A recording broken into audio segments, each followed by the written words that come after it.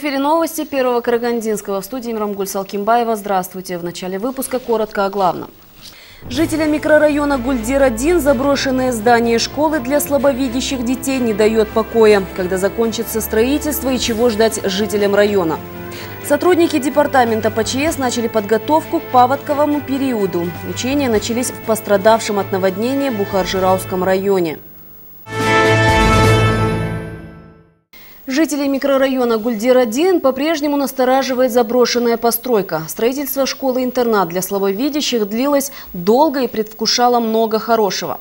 Но теперь здание пустует уже на протяжении восьми лет и по-прежнему нагоняет тревогу на жильцов.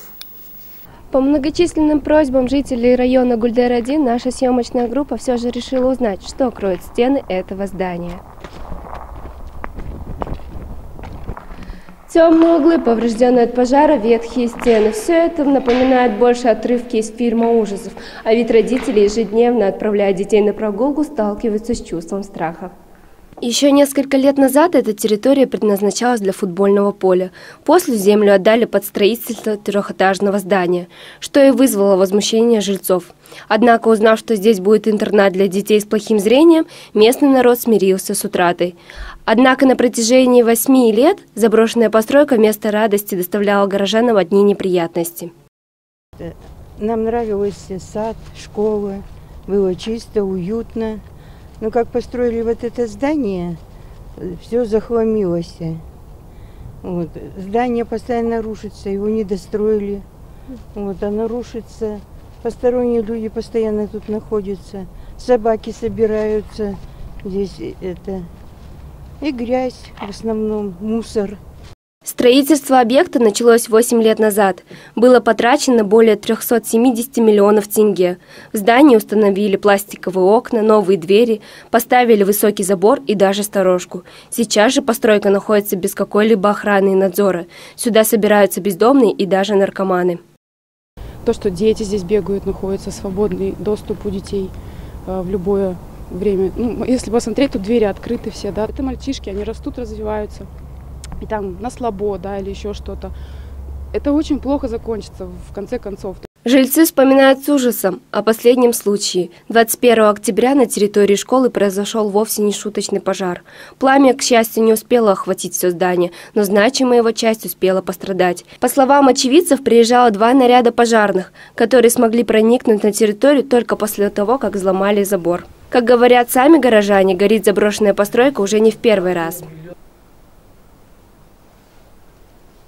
Как стало известно, школа была рассчитана на 250 человек. Строительство было выполнено на 90% и близилось к финишной ступени. Заказчиком данного проекта выступает Министерство образования Казахстана, а вот причиной заморозки строительства послужило судебное разбирательство, в результате которого были осуждены руководитель фирмы ТО строительной компании и должностные лица Министерства образования. В ноябре месяце текущего года мы а, должны получить уже готовую проектную документацию с положительным заключением государственной экспертизы, после чего мы объявим конкурсные процедуры на завершение строительно-монтажных работ. в зависимости от финансирования как бы и будут сроки регулируются. Может быть, в следующем году и завершим. На сегодняшний день здание по-прежнему находится на балансе Министерства образования. Как уверяют чиновники, опустевшее здание в скором времени станет уже не интернатом для слабовидящих детей, а школой с инклюзивным образованием. Асир Санбаева, Исламбек Оспан, Александр Церекидзе, Первый Карагандинский. Карагандинские спасатели начали подготовку к предстоящей зиме. В Бухаржирауском районе в цели своевременного реагирования и оперативной ликвидации чрезвычайных ситуаций подготовительные работы ведутся уже сейчас. Потому что район оказался наиболее пострадавшим от прошедшего весеннего паводка. Аким области Нурмухамбет Абдибеков лично посетил выставку специализированной техники состава ЧС, посвященной предстоящей зиме и паводковому периоду. Гульзат Сахова подробнее.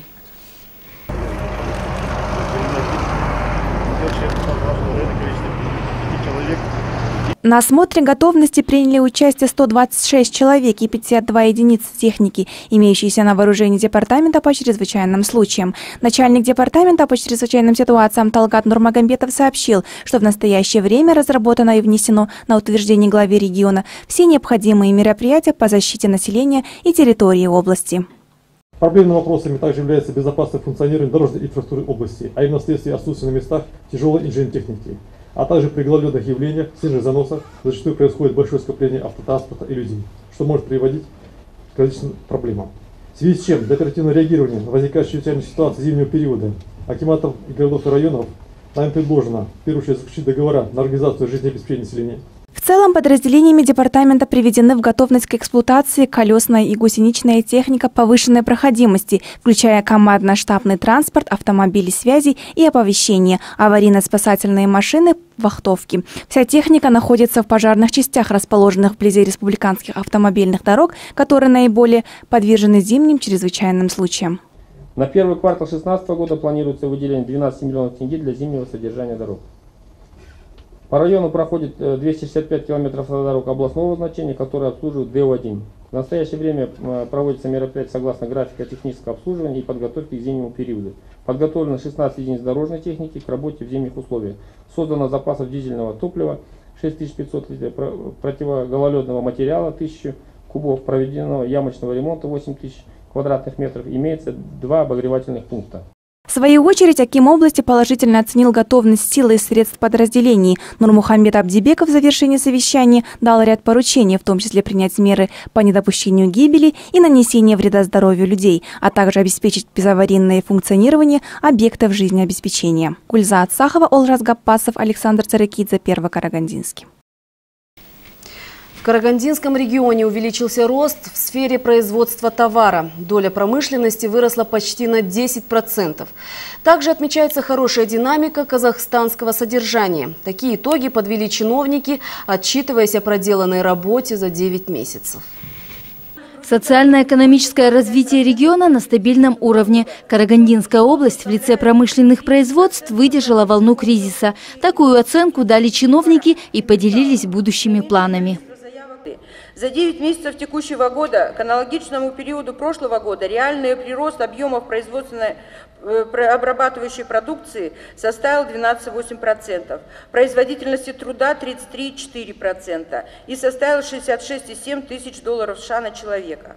Всего в карту индустриализации включено 95 проектов на 519 миллиардов тенге, созданием более 11 тысяч рабочих мест. Новые рабочие места будут обеспечены благодаря государственной программе индустриально-инновационного развития, отметили чиновники. Также в рамках программы «Дорожная карта бизнеса-2020» в текущем году поддержано 205 проектов. До конца года к ним прибавится еще 25 бизнес-идей. Будут созданы 500 рабочих мест. Запущенными проектами карты индустриализации произведено продукции на 59,3 миллиарда тенге или 6,2% от объема всей продукции промышленности.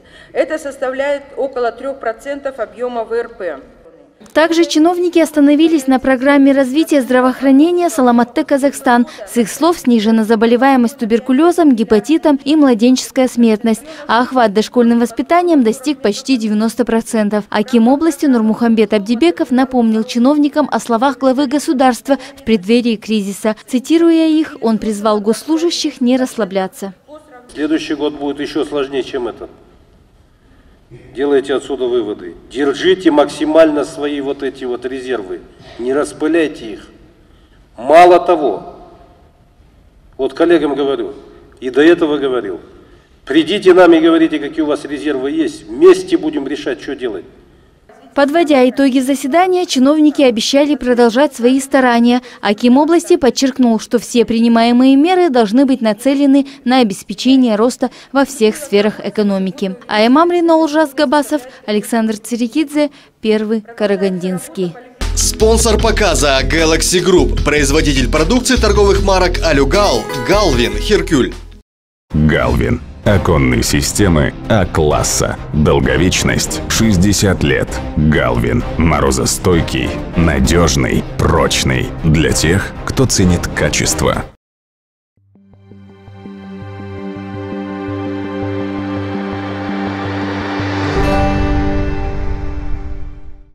Первый заместитель Акима Карагандинской области Аслбек Дюсебаев проверил ход реализации комплексных планов развития региона в поселке Шубарколь Нуринского района. Чиновник посетил несколько предприятий и встретился с жителями вахтовых поселков предприятий.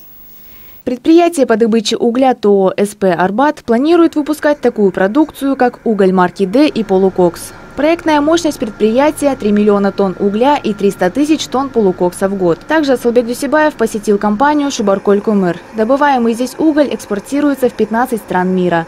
В Россию, страны Балтии, Украину, Венгрию, Италию, Финляндию и другие.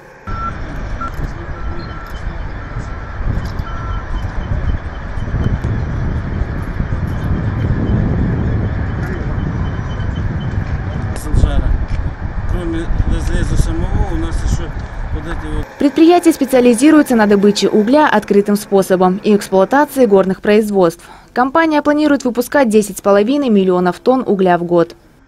Все планы, которые мы настраивали, на себе планировали, мы в этом году выполним. Все обязательства, которые мы брали перед людьми, перед трудовым коллективом, тоже будут выполнены. Все это, конечно, непросто, это результат большого труда, который делает коллектив – в ходе посещения объектов Асалбек Дусибаев ознакомился также с бытовыми условиями вахтовых поселков предприятий, пообщался с их жителями. Вахтовики пожаловались на плохое состояние автомобильной дороги областного значения Козылжар-Шубарколь. Первым заместителем Акима Карагандинской области дано поручение о проведении ремонтных работ автотрассы с привлечением тех компаний, деятельность которых во время строительства железной дороги Аркалык-Шубарколь привела в неудовлетворительное состояние указанный участок дороги. Лариса Хусейнова, Александр Церекидзе, Первый Первый Карагандинский. Региональный фестиваль студенческой молодежи подошел к концу. С 27 октября проводились состязания девяти высших учебных заведений области. У ребят была возможность проявить себя и показать свои таланты. Лучших конкурсантов наградили ценными призами. Подробнее расскажет Лариса Хусаинова. Студенты из вузов области показали свои таланты в различных направлениях конкурсе современных танцев ребята преподнесли настоящий пример дружбы и уважения. Перед выступлением они желали друг другу удачи. И несмотря на то, что они соревновались между собой, после окончания конкурса молодежь собралась в круг и продолжила свои зажигательные танцы.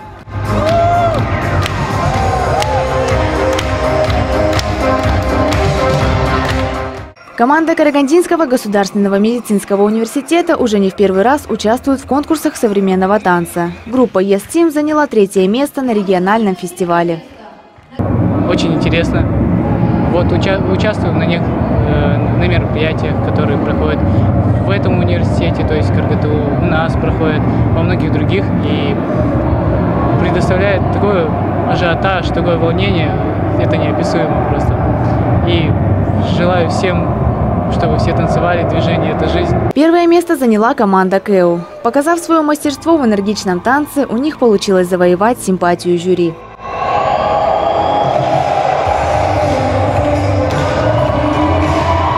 Кроме современных танцев, прошли спортивные состязания по волейболу, дебатный турнир, игры КВН и конкурс социальных видеороликов. Больше всего жюри оценили команду Карагандинского государственного индустриального университета. Их видеоролик занял первое место. Видеоролики в основном были на тему пропаганда здорового образа жизни, семейных ценностей, соблюдения, ПД, соблюдения ПДД, э, профилактика правонарушений, медиации и так, э, межнациональные согласия на, раз, на разные темы. На торжественном закрытии фестиваля студентов-победителей наградили ценными призами. Сотовые телефоны, планшеты и музыкальные центры. Такие призы были за первые, вторые и третьи места. На этом фестивале были учреждены, соответственно, определенные премии, были ценные подарки, такие, как вы уже все видели, у нас музыкальные центры были, э, были также э, сейчас как бы актуальны для молодежи электронные книги, планшетники, сотовые телефоны. Вот э, такими подарками мы наградили более отличившихся на данном фестивале. Для студентов такое масштабное мероприятие организовало Управление по вопросам молодежной политики. Все ребята остались очень довольны и фестивалем, и своими наградами. Лариса Хусейнова, Ужас Габасов, Александр Церекидзе, Первый Карагандинский. Безналичная оплата проезда в общественном транспорте не за горами. Караганде презентовали новый проект, который по позволит оплачивать проезд в автобусе посредством электронной карты. Изобретение уже пользуется успехом в городе Алматы и приступает к запуску в Павлодаре.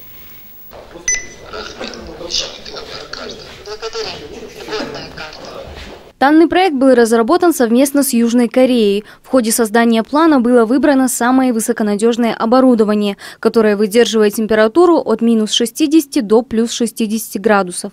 Да и в пользовании он весьма прост. Необходимо приобрести электронную карту стоимостью 320 тенге и в нужный срок пополнять ее с помощью мобильного терминала. Срок службы такой карты 10 лет. Рассчитано в онлайн-режиме, э, позволит, в онлайн-режиме контролировать всем автопаркам, на какой остановке, какой объем денежных средств, какой пассажиропоток пошел, э, на какие маршруты следует оптимизировать, какие маршруты следует упразднить. И тем самым это, это возможно создает управление интервальностью, управление. Это БМС-система, Bus System Management, которая позволяет управлять, оптими, управлять э, транспортным потоком, а именно его интервальностью, его скоростным режимом, э, его стоянками, э, его расходами, э, его пассажиропотоками, э, систему Данная система позволит обществу перейти от наличного расчета к безналичному. И самое главное преимущество – это вывод теневой экономики из транспортной системы. Идут э, споры между пассажироперевозчиками по вопросу компенсации, по вопросу а, разделения так называемых э, социальных выплат в части именно количества социально уязвимых слоев населения, которые проезжают по городу. Поэтому а, мы рассмотрим этот очень важный. Компания-перевозчик остается в выигрыше. Во-первых, отсутствие кондуктора способствует экономии, а во-вторых, гарантирована чистая прибыль, контролируемая через онлайн-программу. Только цена заставляет задуматься, стоит такой аппарат 10 тысяч долларов. Не повлияет ли это на стоимость проезда? Диана Рамазанова, Исламбек Успан, Александр Цирикидзе, Первый Карагандинский. Несмотря на трудную экономическую обстановку в стране, здравоохранение в области укрепляет свою базу. Только в 2014 году на материально-техническое оснащение было потрачено полтора миллиардов тенге. На пресс-конференции руководитель областного здравоохранения объяснил обстановку на действующие ремонтные работы в больницах города. Свыше 400 миллионов тенге было выделено на ремонт больниц. Четыре корпуса областной клинической больницы будут соответствовать санитарным нормам и требованиям. В хирургическом корпусе уже ведутся ремонтные работы. К началу 2016 года начнется ремонт терапевтического отделения. На сегодняшний день продолжается строительство уникальной областной детской клинической больницы. Площадь этой клиники составит свыше 33 тысяч квадратных метров. По плану строительные работы завершатся в декабре 2016 2015 года. Как отмечает руководитель управления здравоохранения, несмотря на сложное финансовое положение, областной акимат выделил 125 миллионов тенге на приобретение дополнительных 37 машин скорой помощи, что позволяет вовремя обслужить вызов. На многочисленные жалобы пациентов, связанных с несоблюдением санитарных условий, Ержан Шакирович ответил, что это связано с действующими ремонтными работами. За последние три года с областного бюджета областным акиматом а, были выделены а, свыше 4 миллиардов тенге на затраты капитального характера. Это ремонты предприятий, материально-техническое оснащение предприятий. Поэтому, а, несмотря на имеющиеся трудности, даже в текущем году свыше 400 миллионов тенге было выделено на ремонт медицинских организаций. Качество проведения государственных закупок как показатель эффективного госуправления. На очередном заседании городского общественного совета по противодействию коррупции депутаты, участники совета разбирали непростые ситуации при проведении тендеров. Чтобы меньше было ошибок и скандалов, обсудили все и дали ряд рекомендаций. Каких знает Сергей Высокосов. Э, мы говорим о эффективности использования бюджетных средств. Об эффективности использования бюджетных денег и эффективности государственного управления в целом городской общественный совет по противодействию коррупции проводит заседания регулярно круглый год. В прошлый раз говорили о работе социальных служб и отдела образования Караганды. Сегодня обсуждали не менее важное обеспечение прозрачности при проведении госзакупок. Готовить техническую документацию нужно с большей ответственностью, напомнили депутаты городского маслихата участникам Совета и обязательно проводить своевременный мониторинг и анализ. Мы, мы мониторинг мы подразумеваем так. Во-первых, значит, есть определенные, правильно, как вы говорите, сроки. Значит, например, задание поручения Кима, значит, с, с февраля, например, по март провести все госзакупки. Все, первый вопрос. Это своевременность. Это первый своевременность. Да. Второй вопрос. Значит, все ли э, услугодатели, значит, э, значит, вы заключили договора или нет? Это два. Третий момент. Когда заключили договора, значит, э, ли, отказы есть или нет? Третий момент. Четвертый момент. Значит, э, значит, выполняются ли эти договорные обязательства? Пятый момент. Значит, э, претензионная работа, если она отказные есть, соответственно, проводится своевременно или нет. То есть вы э, администратора программ контролируете. Потом дальше. Шестое. Своевременно вы ли штрафные санкции выставляете, они, а вы мониторите. Правильно, четко расписать договор, процедуру все это правильно, четко расписать, чтобы потом можно было спросить надлежащий ответчик. Человеческий фактор желательно было бы стараться исключить, посоветовали депутаты участникам Совета, а чиновникам поднатореть в составлении необходимой документации, чтобы не подводить ни начальство свое, ни горожан. А если мы так не будем принципиально каждого разбирать, то у нас все будет прозрачно, все хорошо, а государство будет. Почему? Потому что некачественно выполнена работа. Весь разговор. Это все зависит только от самих участников, сами те, кто подают. Они могут забыть какой-то документ приложить, забыть там еще что-то. Я все понимаю. Потому что чем больше мы, так сказать, кажется нам, мы делаем прозрачную процедуру и увеличиваем количество документов, и просто сложнее им, а не нам. Надо дать должное, чтобы помог суду первым это инициативу проявила, она своих работников обучила, например, сметному делу. Другие госучреждения что-то не увлекают. Я так думаю, нужно немножко средства выделить и подтянуть квалификацию. Люди хотят работать, просто многие немножко не знают. Закон достаточно сложный. Это всегда это, она, человек, который работает, он всегда ошибки делает, независимо от этого. Вот другое правильно, вот, э, Толик Казаевич правильно говорит, э, надо, надо в корень смотреть не в том смысле, как сказать, придираться к этому делу. Если придираться можно найти, записывать, ну, запятую, да, вот это у нас, к сожалению, есть. Здесь вот почему иногда, ну как сказать, здесь коррупционная составляющая есть можно к этому придраться, на это можно посмотреть э, прозрачно. Пока что с госзакупками во всех областях страны не все чисто и гладко, заключили участники Совета по противодействию коррупции. Однако законы с каждым годом совершенствуются и качество работы чиновников и подрядчиков улучшаются. Свои рекомендации антикоррупционеры Караганды решили направить и законодателям, чтобы, к примеру, ввели в норму такой момент. Если победитель закупок добровольно отказывается заключать договор, пусть платит штраф. Я думаю, в борьбе коррупции значит, большое внимание уделяется, и так думаю, это к этому э, идет, для того, чтобы а, все чище и лучше. Но вот эти вот э, рекомендации администраторам программ, Э, непосредственно э, качественно документацию. Вот то, что Марас Афонович говорит, конечно, наблюдатели должны быть. Ну, честно сказать, наблюдатели сложно это. Сергей Высокосов, Александр Церекидзе, Первый Карагандинский. Караганда вошла в команду общенационального движения «Казахстан-2050». На сегодняшний день в движении нашего города входит уже 15 человек. Участниками была организована встреча, где, где обсудили важные вопросы, касающиеся развития именно шахтерской столицы. Движение работает уже два года, но за такой короткий срок было сделано немало дел. Основной задачей движения стало содействие вхождения в Казахстана в тридцатку наиболее развитых стран мира путем поддержки политического курса, изложенного в стратегии «Казахстан-2050». То есть это никакая не благотворительная там организация, а, это не коммерческая организация, которая должна э, там, зарабатывать на чем-то или еще что-то.